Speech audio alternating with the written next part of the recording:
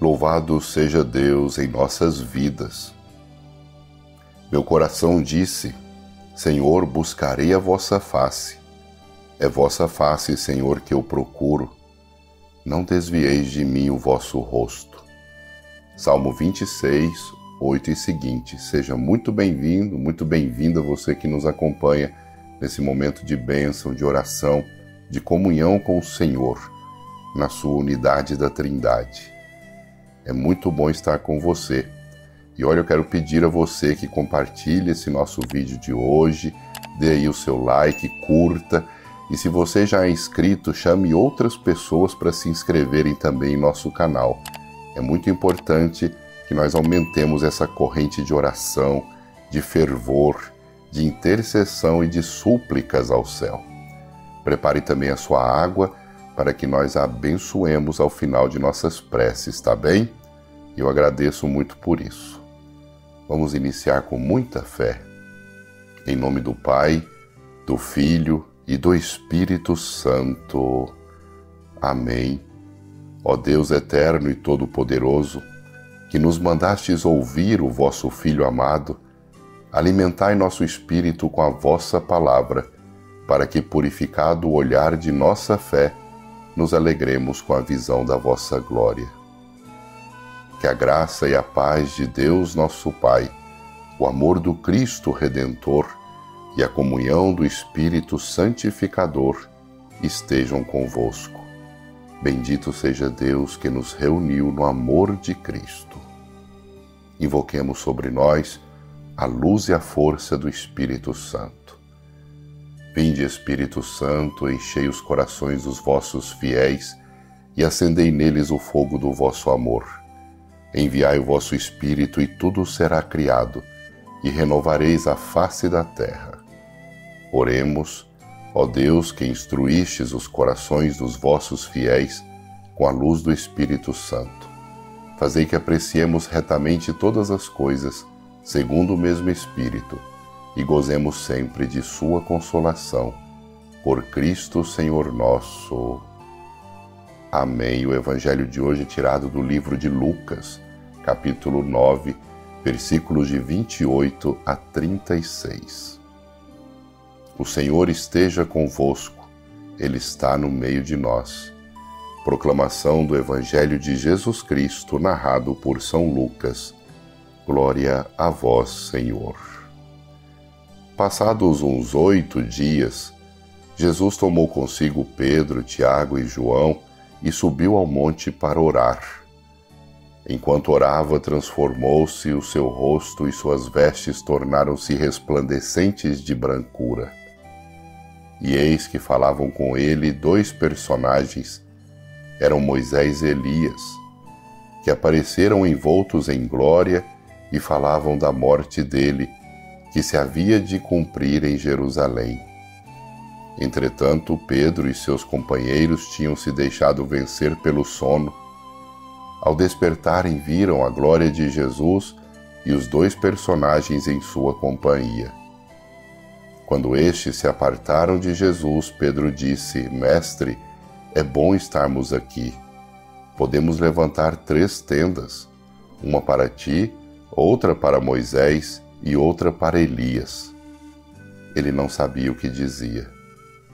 Enquanto ainda assim falava, veio uma nuvem e encobriu-os com a sua sombra.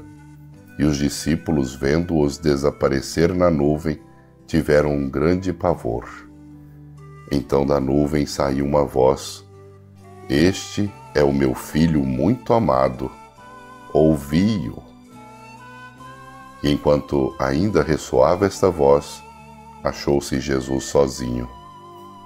Os discípulos calaram-se e a ninguém disseram naqueles dias coisa alguma do que tinham visto. Palavra da salvação. Glória a vós, Senhor.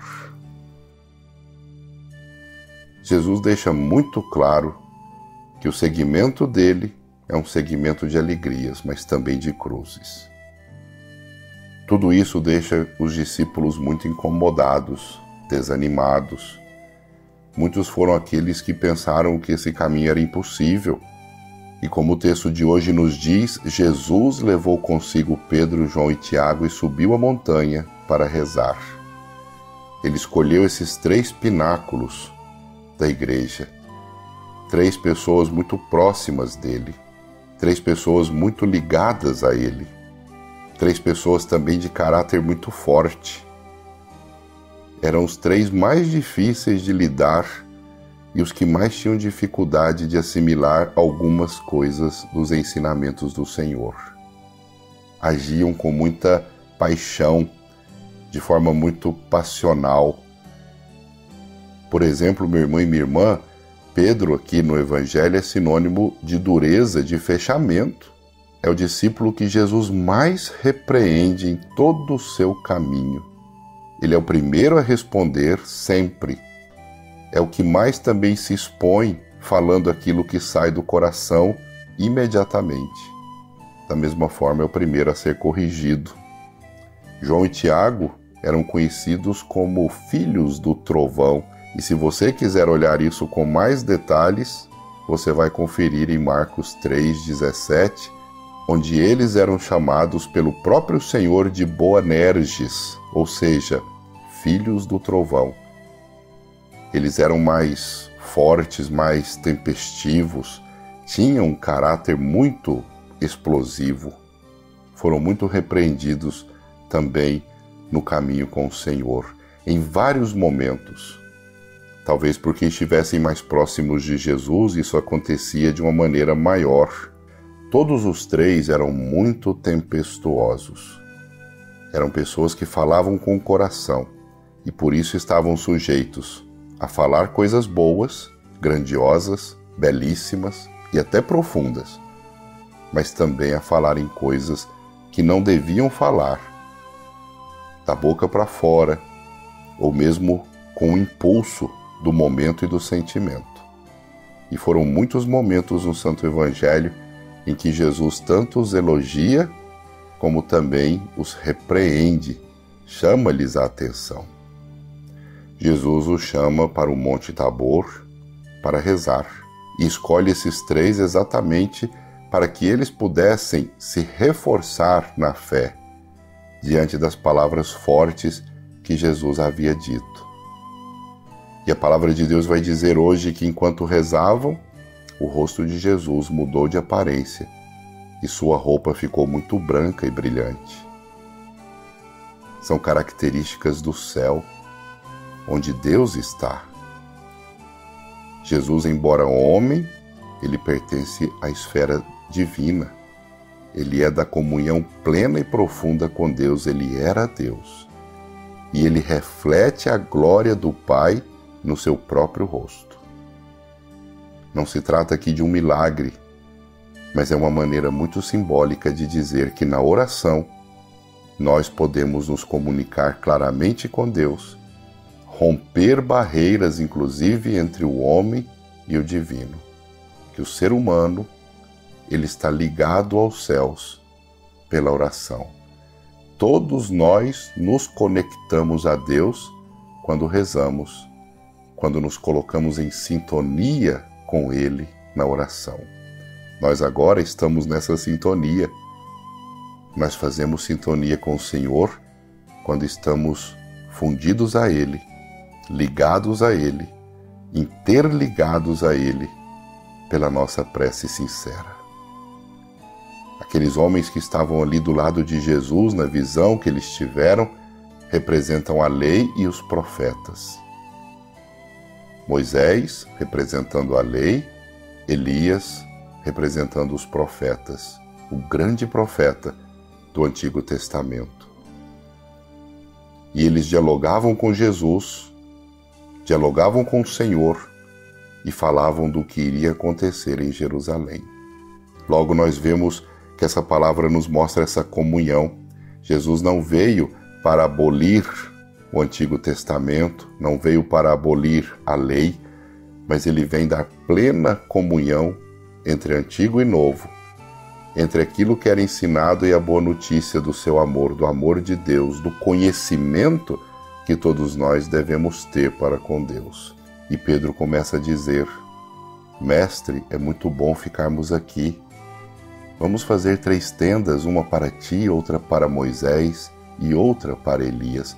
E a própria palavra diz que Pedro não sabia o que falava, o que estava dizendo. E enquanto ainda falava, uma nuvem desceu, e a nuvem, meu irmão e minha irmã, é a presença do Espírito Santo. E dessa nuvem saiu uma voz: Este é o meu filho muito amado, este é o meu filho muito querido. Escutai o que ele diz. Escutai a sua voz, escutai a sua palavra, ouvi-o. Somente quando nós ouvimos a palavra do Senhor é que tudo se clareia em nossa mente. É que nós entendemos o porquê do nosso discipulado. É que nós aceitamos muitas vezes alguns sofrimentos que nós passamos e lutamos para vencê-los. Quando nós ouvimos a voz de Jesus, nós somos capazes de carregar a nossa cruz, não com tristeza e amargura, com depressão no coração, mas carregamos felizes as angústias, aflições e sofrimentos que muitos de nós devemos passar porque optamos pelo Senhor. Mas o Senhor, demonstrando essa comunhão de amor na oração, nos faz entender que nós seremos sempre fortes se nunca deixarmos de ouvir o Senhor, de escutar a Sua voz dentro de nós, de ler a Sua palavra e de rogar a Ele, de rogar a Ele a Sua graça sobre nossas vidas. Na oração encontramos conforto, na oração Deus nos ajuda, na oração Deus clareia nossa mente. Por isso, rezar, meu irmão, rezar sempre, minha irmã, buscar a Deus com toda a confiança, lembrando-nos que Ele nos ouve, lembrando-nos que Ele é um Pai de misericórdia. Aquelas pessoas que não têm fé costumam até achar que fazer uma oração é simplesmente repetir palavras, palavras lidas ou até mesmo decoradas, palavras que nós já temos dentro da nossa mente. Mas mesmo que nós as repitamos como se fosse até um mantra, o nosso coração se eleva junto com as palavras que nós temos em nossa mente e em nosso coração e nos leva a Deus.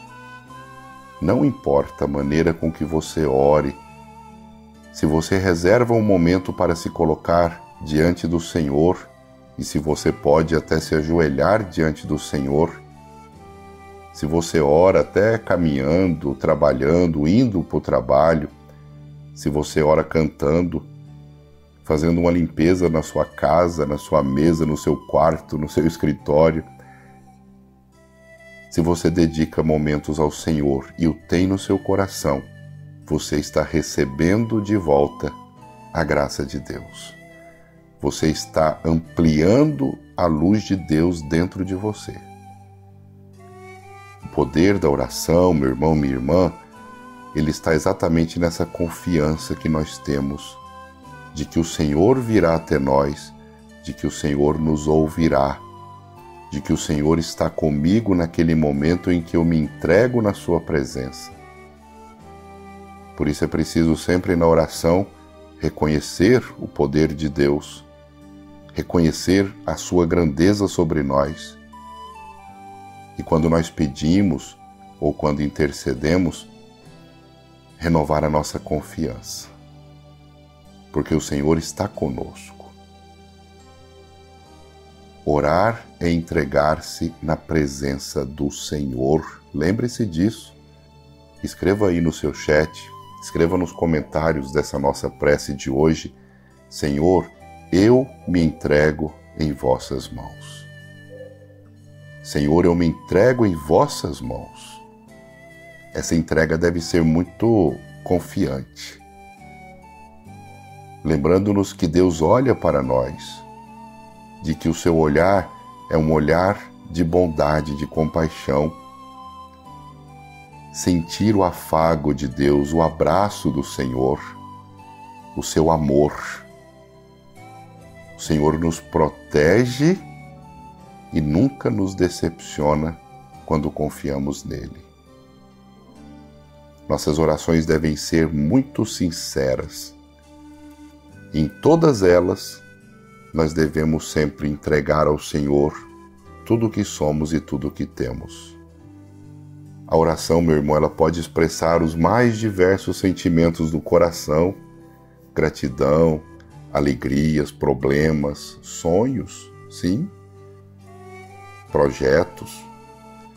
Nós entregamos também nas mãos do Senhor nossos medos, nossas angústias, nossas aflições de cada dia. Quando nós nos colocamos em oração, nós entregamos para o Senhor uma questão de nossa vida ou as questões de nossa vida e fazemos essa conexão direta com os céus. É muito diferente de compartilhar nossos problemas ou alegrias com alguém aqui na terra. Conversando com Deus, orando com Deus, o Senhor expande a nossa sabedoria, nos dá luz e conhecimento para que possamos crescer, evoluir, sermos pessoas melhores. Por isso, quando nós estamos aí no desespero ou mesmo passando por uma situação grave na vida, a gente costuma dizer às pessoas com muita fé: olha, reze, confie em Deus. Ele vai te iluminar nesse momento. Nada está perdido se você confiar no Senhor. Tenho certeza, meu irmão e minha irmã, que você diz isso às pessoas. Tenho certeza que você orienta isso para alguém que está passando por um problema. E essa frase que você diz aí, olha, tem um poder gigantesco inclusive de orientação para a vida, para quem não sabe nem como resolver seus problemas. Entregue nas mãos do Senhor seu problema, confie em Deus. E eu peço a você que escreva aí mais uma vez, interagindo com essa nossa prece: Eu confio em Deus. Eu confio em Deus. Eu confio em Deus. Como é importante confiar em Deus, confiar a Ele nossa vida e dizer isso para as pessoas. Tantas vezes a gente fica pensando como é que eu vou orientar uma pessoa que está passando por um momento triste, ruim, de angústia, de sofrimento. Meu irmão, minha irmã, diga para essa pessoa rezar, orar a Deus, confiar em Deus. Diga para essa pessoa nunca deixar de se entregar ao Senhor e você já estará evangelizando, você já estará orientando uma alma para o caminho certo. Padre, mas aquela pessoa sabe que tem que fazer isso. Não tem problema. Muitos de nós sabemos tantas coisas, mas precisamos ouvir. Precisamos que alguém nos confirme, precisamos que alguém nos redirecione, precisamos que alguém nos lembre como é importante termos pessoas que digam coisas boas que nós já sabemos muitas vezes, mas que precisamos ser lembrados delas. Nisso existe um impulsionamento muito grande que pode levar a essa atitude confiante que antes não havia. Por isso que eu digo a você que essa frase reze, confie em Deus e ele vai te iluminar, ela tem muito poder. Ela pode ser o caminho a solução para aquele problema.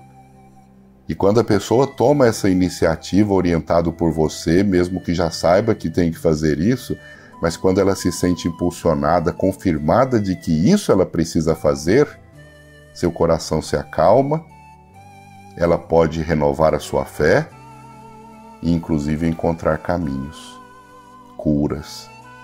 Pode se elevar, pode curar seu próprio coração e sua vida pode evoluir no seu modo de enfrentar o problema que está passando ou o sentimento que está vivenciando.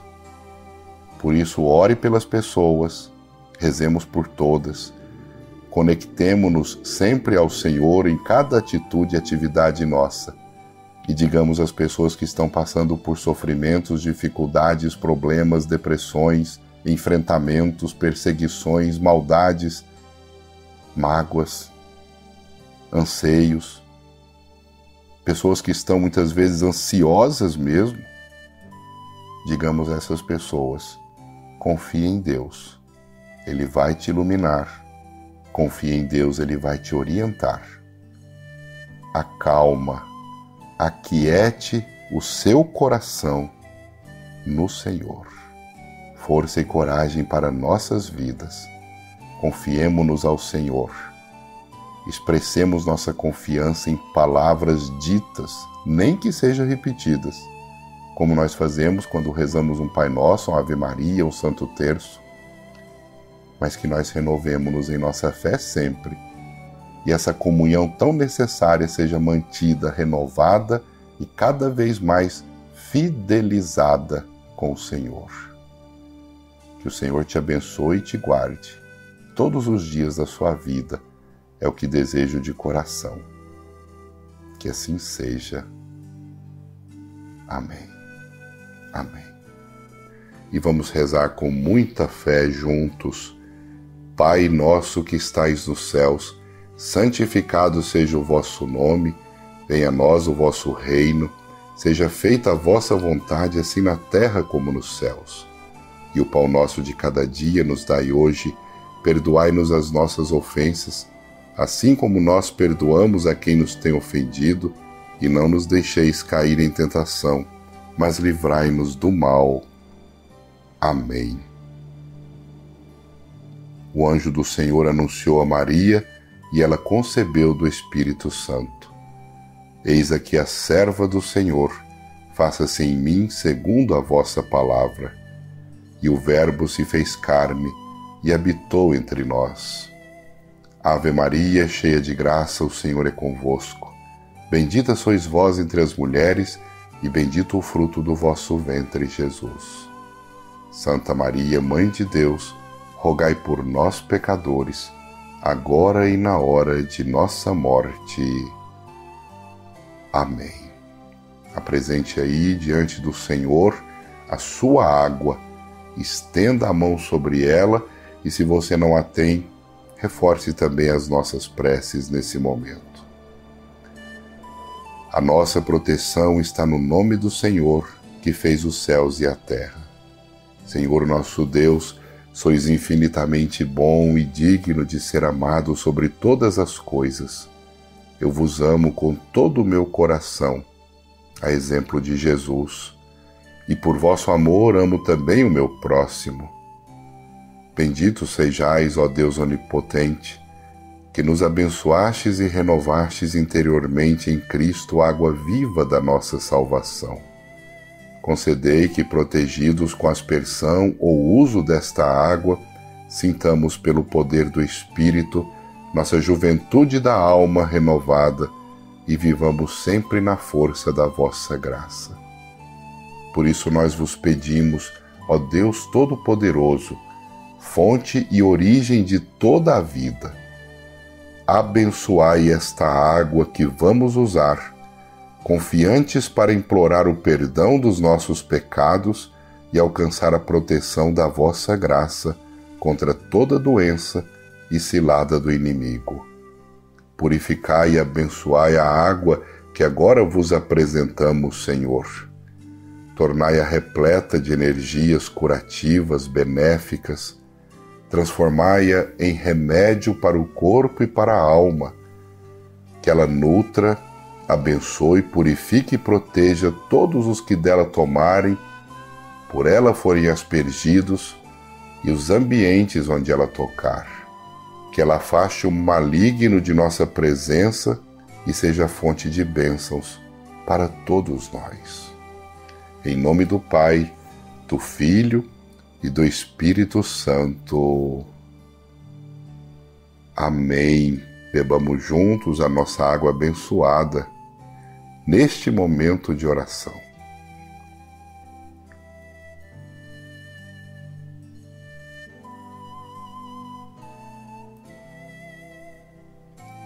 Faça sua prece com muita fé e devoção ao Senhor, fonte de água viva para todos os que têm sede.